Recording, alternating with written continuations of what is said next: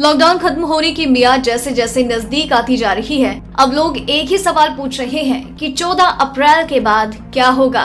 क्या लॉकडाउन खत्म हो जाएगा या फिर इसे एक बार फिर बढ़ाया जाएगा? या फिर कुछ ही इलाकों में लॉकडाउन से छुटकारा मिलेगा?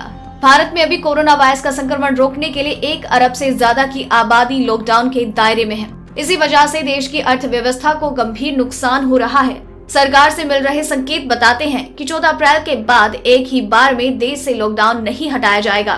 सरकार का आकलन है कि लॉकडाउन की वजह से कोरोना वायरस को कंट्रोल करने में बहुत मदद मिली है। लेकिन लॉकडाउन की वजह से लोगों और अर्थव्यवस्था को गहरी चोट पहुँच रही है।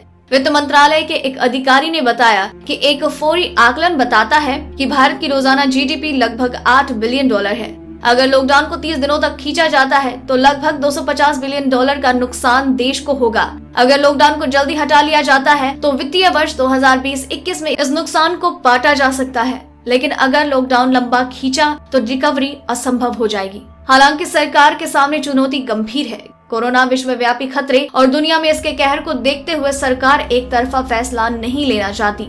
इसलिए मुख्यमंत्रियों के साथ वीडियो कॉन्फ्रेंसिंग के ज़रिए प्रधानमंत्री ने सहमति का रास्ता चुना और राज्यों से कहा कि वो लॉकडाउन से एग्जिट का प्लान तैयार करके भेजे।